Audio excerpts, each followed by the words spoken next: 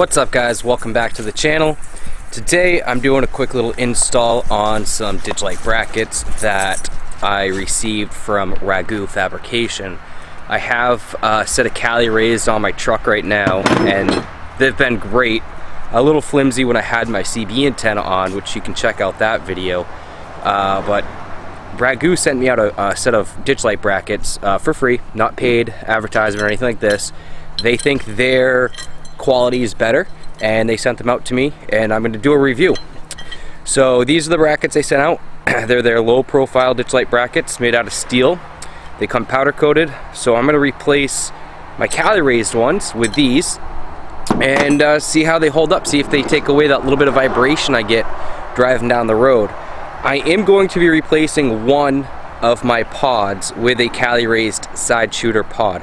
I already have those on my truck now. Um, I won those in a giveaway and my dog ate the end of one of the pods so I'm not going to rewire that up uh, just to have it look shiny. Uh, but I'm going to compare them, see how they uh, weather over the year. So the Cali Rays I have on my truck now are about two years old. They've been through a couple Maine winters and I'm curious to see if they're actually starting to rust, peel, etc. Um, I know that they're covered in wax, so I'm not really seeing through the wax because I'm too lazy to clean the wax. But I'll give you a close uh, shot. Uh, I'll give you a close look at what I've got now, and uh, we'll get the other ones on real quick. And I'll all right, guys. So these are the uh, side shooter pods. Um, they're about two years old as well. I got them as a full kit.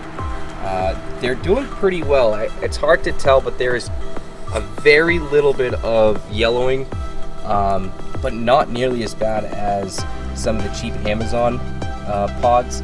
So they've held up really well. There's a little bit of discolorization, a little bit of corrosion starting around here from the Maine salt. Uh, I don't even know if I can get close enough for you to see that with this camera.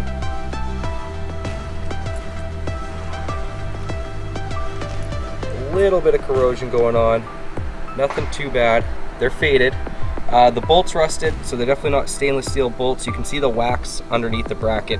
That's because I'm a lazy, uh, lazy waxer and I just throw it everywhere. Um, and then underneath, if you can see it, is underneath is doing pretty well as well.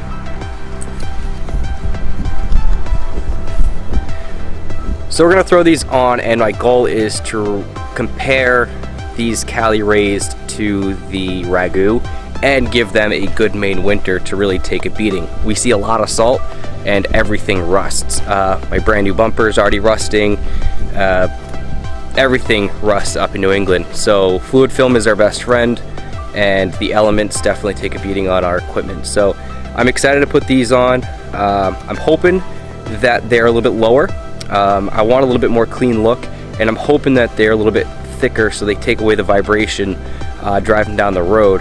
Um, cruising on some 285 check, 275, 80, 17 uh, MTRs, and they're fairly quiet and they're fairly smooth, but at certain speeds they do get a little bit of a, a bounce going on. Um, it's probably more my shocks. I don't think I have them quite adjusted where I want them yet, but uh, hopefully that the, the vibration will go away and, and I'll have a better uh, projection of light uh, without that vibration driving down the road. So let me get some tools and we'll get started. Got my tool. Need a 12 millimeter socket, that's it. Uh, some zip ties if you're redoing your wiring. Alright guys, so I already have my uh, Cali raised bracket in place right here with these two bolts. And I know you see a lot of other wires here. Uh, this just leads to some hood lighting but uh, I'm going to break a zip tie here, drop everything, and then what you're going to do is you're going to remove, loosen both bolts.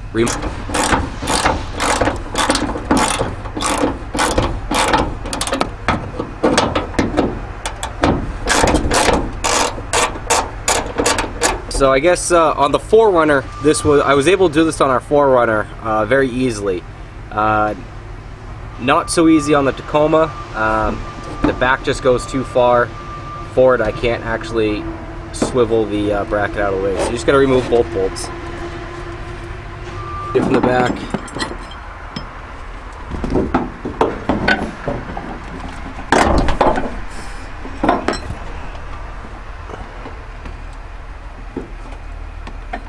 Line up the holes.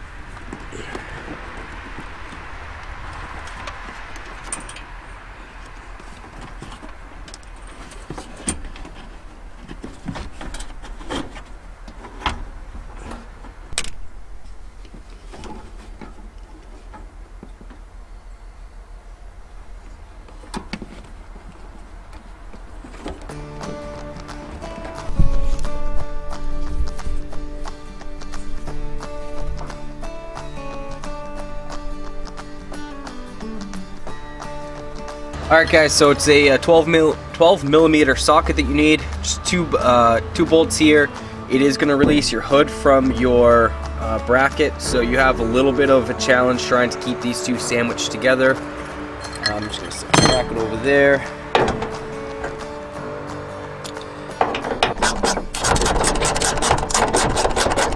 It's gonna be a little bit more of a challenge to get my bracket out. I just had my windshield replaced and it looks like they buried my my wire to my pod. So I gotta try to fish that out. So that'll be a challenge. Alright. So as soon as I let go of this, both bolts are out. My wind uh, hood's gonna want to slide down. The goal is to try not to let it move very far. Literally, can barely get the bracket out of the way. Slide the new bracket underneath.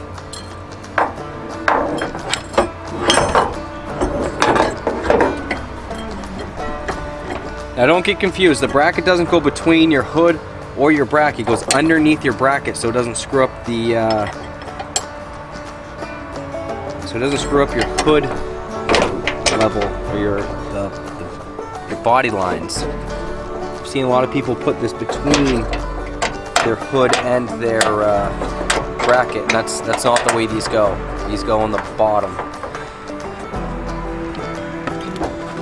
Just threaded those in.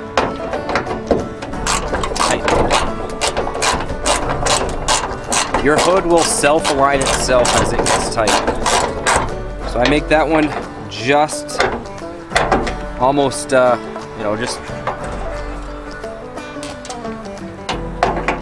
just beyond finger tight with the socket.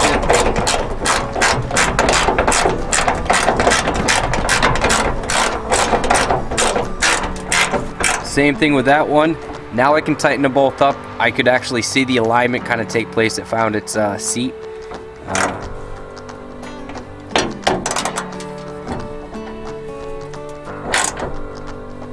you don't need to crank down on them. Just a nice little uh, snug fit.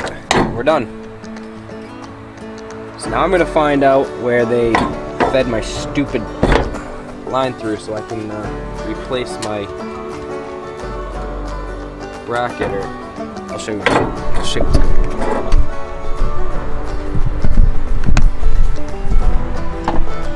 So you got my cord, it goes straight down and it goes underneath my windshield, but like in the crease. So I'm wondering if they they had to I bet you they sealed that wire in the windshield and they put the new windshield in. And I don't think I'm gonna get that out. So what I gotta do is I'm gonna take this apart, take this off, I'm gonna put it on this one, and then I can get rid of the uh, bracket. So it's a good thing I can't replace this pod because I don't think I can actually get this pod out from underneath that windshield. Um, and I'll try to get a better shot of it, but it, it literally goes like underneath this housing.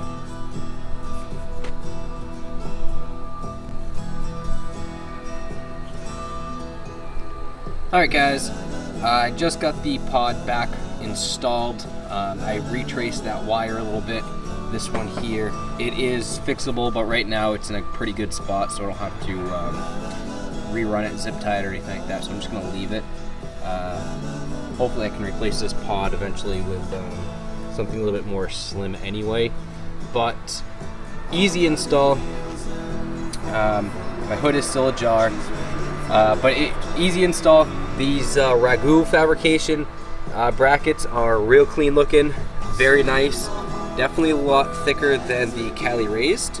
Um, and hopefully when I drive down the road, they won't vibrate as much as the Cali raised did. Uh, so hopefully that'll fix the issue. I didn't put the CB antenna back on, uh, mainly because I I have a Rago fabrication uh, CB antenna mount on the rear of my truck, which I have a video about if you want to go check that out. Very easy install and a great place for the antenna. Um, other than that, they're pretty comparable in how high they come off the roof line and kind of the overall design. Um, so we'll see how they hold up over the last year. I'll give you some close-ups. I took the other one off So this is the uh, passenger side bracket, and as you can see, um, definitely had some rusting that would have been facing the wind. Uh, so it definitely took some beating, uh, definitely some rust around the bolts. Uh, even underneath it had some corrosion going on, some rust there, uh, another chip here. So they held up pretty well, and I, the white is uh, wax, a really, really bad waxer, like I said before, but really it's just um, a lot of it is is just the Maine winters beat these things and I'm glad that I uh, changed them out before this winter so I can uh, see how the Rago ones hold up. Hopefully they hold up better. Uh, if not then it is what it is. It's uh, something you're just gonna deal with. But overall impressed with how they look and I like the little icon on the uh, driver's side. So we'll see how they do over the, the next year.